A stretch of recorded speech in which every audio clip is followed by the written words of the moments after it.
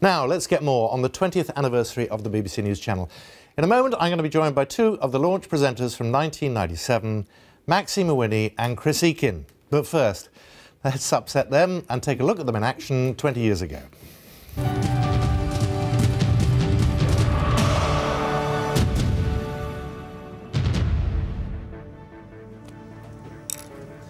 Hello, you are watching BBC News 24. I'm Chris Eakin. And I'm Maxine Mawhinney. The headlines at 7 o'clock this morning. Right, well, that didn't uh, that, that, that, surprised you both, didn't it? It's, it, it's great. It's great to see, see you both. What, what, were you, what were your memories of the start of this channel? That yellow shirt. Yeah, yeah. different hair. yeah, because at the start, no jackets. That's right. No, that's absolutely right. I'm not sure. I remember how long that lasted, a year or so. I mean, it really was. The idea was we were radical. I know Sky had been going for eight years, but in BBC terms, this was very different. Uh, all meant to be, you know, nothing like what had gone before. Very deliberately so, and hence no jacket. I have to say that was a complete disaster. The no jacket thing. I mean, it really because we, we realised that absolutely nobody was taking this. I was watching the news from elsewhere, and looked at, we looked at that and said that's a disaster. That's yeah. But I'm not going to. That's all I'm going to say. I think I think my memory probably of the early days was chaos. Uh, but I, I, can't even say organised chaos because we were dealing with lots of new things, lots of technology, a whole different new way of working, um, you know, the expectation of the public as well. And then, of course, you know, things would go wrong. So there was a lot of, could you just keep filling? Yeah. Uh, and, you know. it was a new, having present in a totally different new way, wasn't it? Was. it? It was very much so. But I mean, we did have we did have our moments, didn't we? I, I, I remember on day one we walked in in 1997. I remember this is you know this is the year of Tony Blair. And I remember being told that, that no interview was to be cut short. You, you've got 24 hours. And of course, you know, we know that's not how it works. I mean, I coach people now on how to deal with these things. The first thing we do is say, you have very little time, mm. get your message across. But we were meant to never say, the, wo the words they didn't want to ever mm. hear were, that's all we've got time, time for. Yes, you were never allowed to That lasted that. about two minutes ago. well, we had a lot of time. We did actually have a lot of time. There was a lot of time, but there was a lot going on. And actually, this is an incredibly privileged position from which to watch what's going on. And I mean, in, your, in both your times, you've covered some, some huge stories, but particularly for you in Northern Ireland. Well, I mean, huge stories from all over the world. And, and my journalism students sometimes say to me, don't you still want to be out there on the one story? But sitting where you are, Simon, you're covering everything on the world, what's going on in the world all the time. And it is a privileged position. I mean, we had all the Northern Ireland stuff, Bloody Sunday in particular. Um, I was there for the, the Bloody Sunday um, review announcement, which was actually very historic. We've had numbers of historic moments at Stormont, of course, constantly standing up there in the cold, waiting for somebody to speak to each I, other. I, have done a couple of days of that. We all did it because there was so much going, wasn't there? Yeah, was, there was. But the big difference, and especially for the BBC, mm. was that we were able to do this stuff at length live, and, and you got a real sense of how the, the stories were developing rather than those sort of two, two and a half minute long packages yeah. in, the, in the bulletins. You, you got a build up of a story and a sense and an atmosphere of it, which is why we, we reasonably quickly got a big following. And you sometimes got more than a sense uh, and an atmosphere of it. You actually went out and did things. and, and well, Maxine says that one woman's already asked her if you bring your waders in. Because He's actually for many wearing people, them onto the desk. they're, they're for many there. people, your coverage of the floods is one of those memories seared into the memory completely. funny enough, the controller of this channel I was talking to last night asked if I was bringing those waders back because they're owned by the BBC apparently. the, the answer's no.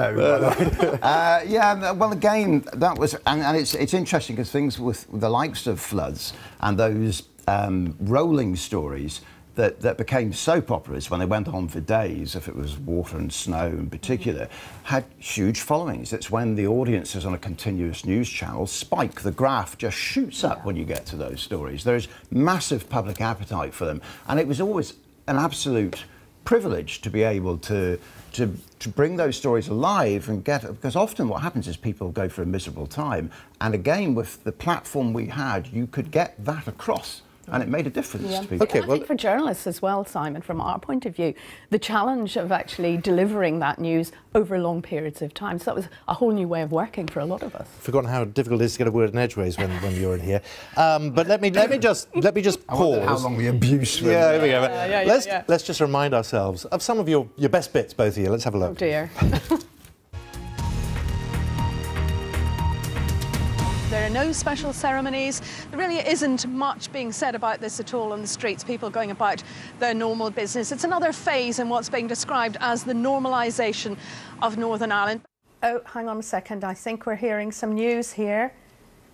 It's a girl. Oh my the Duchess goodness. of Cambridge has safely delivered a daughter, we're hearing, at 8.34 a.m. this morning. That's coming from Kensington Palace. Smiling. As of now, things have stabilised here. Look at this. It's just as I speak. It's quite extraordinary weather here today. On the whole, it hasn't, frankly, been raining that much. And look, the heavens have just opened. Viewers from BBC World have just joined us from BBC Five Live as well, BBC News 24 and BBC One. Just take us through this final moment with the armoured vehicle clearly about to reverse in order to tighten the cable and pull the statue down off its pedestal. History, and as I say, a huge privilege to watch it from this position. Uh, but as you've already hinted, things don't always go according to plan. No. No. Should we have a look? Should we have a look at? And it's not just you two; it's happened to us all. And here's the absolute proof. Look at this.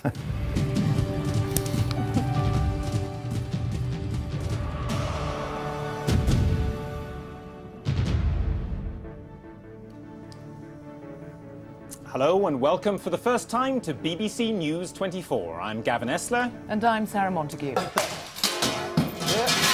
We shall be joined by viewers on BBC One when Clive Myrie will have. Now, the company is not commenting on the news at the moment, but a source has told the BBC that the cuts in Scotland could see the end of the operations formerly owned by British Steel. Simon's trying to find out a list here of Well, it's uh, it's drinks like Guinness, it's Johnnie Walker, it's Bailey's, it's it's an average Christmas evening for you. Um, but uh, Now, coming up in a moment, we're joined by viewers. It's done it again. No, it's all gone dark. I haven't got the money for the meter. you don't need one for a broomstick. Now, uh, let's get the weather forecast. On. I've lost my microphone. Very sorry. Just talk amongst yourselves, won't you? It's still it, it, it's still great to watch. Uh, th- the interesting thing is, I mean, I I always think of this a bit like running air traffic control. You're paid for the moments when things go wrong, and it's just with this channel things used to go wrong a lot I thought more. I looked quite cool there when the floor manager came in and then went out again. I didn't blink. Did he- Actually, I didn't know he was there. I I was going to say he was all uh, behind you. Um, what do you miss most? Um, that's an interesting question. I, you know, we were talking um, those pictures of Saddam Hussein's statue. We were talking about the way uh, you could, with live coverage, you could get a better sense of a story. And I remember in that particular one when the stars and stripes were were put on the statue by uh, the, the soldiers involved. And when that came in packages later, it was all just sort of happened. And, and you know, when we were watching it build build up, and you thought, are they really going to put the flag there? It was it was the tension was just palpable. It was quite mm. extraordinary. You can only get that with that sort of live coverage, and I do miss I do miss that. Can I tell you what I won't miss? Hmm.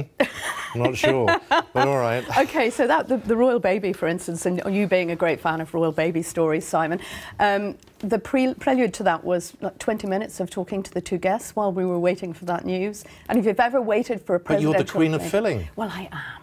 But if you've ever waited for a presidential plane to land and the, the gallery says, "Oh, there's the plane," and it's a speck in the distance. And then they go to it, and of course they can't leave it. And then it lands, and the door doesn't open for another 20 minutes. And I'm Irish, I can talk a lot. You, yeah, you can. Well, you, you, you, I tell you what, you have put me off this job completely. so what I'm going to do is I'm just going to go. I've had enough. Well, I think I think just to relook, could you just get up, bring your chairs round Yeah, here? yeah. Remember how it was? Your link's up there, ready to go. I want you Come on, there. Come on. My chair. Give me your chair. Oh, your You, oh, yeah, no, you have that chair. There we are. You know Oh, this was happening. No. It's like, just No, as we did I in rehearsals. know Chrissy was can sit there. Right. And let's, Right. we're all going to put the clock back now. I wish you both good luck with this. Actually, I Thank forgot to you. say congratulations with the name Afternoon Live. That must have taken an awful lot of coming up with. Did you come Well- up with well that one? done. Did you? that- that- uh, Okay, football now, and a very big night ahead for Northern Ireland. Actually, I'm on talkback. You're not on talkback. No, nobody's you? So talking I've got, to me. I'm I've going to got- continue. I've got the gallery They're yelling hoping about to make it into the World Cup finals for the first time in more than three decades. They take on Switzerland this evening in the first They're leg saying hurry of up. the They are qualifying saying hurry up. playoffs. For Russia 2018. You can read this bit. Uh, our sports correspondent Joe Wilson takes us. What sort of script is this? Here's Joe Wilson. In Belfast,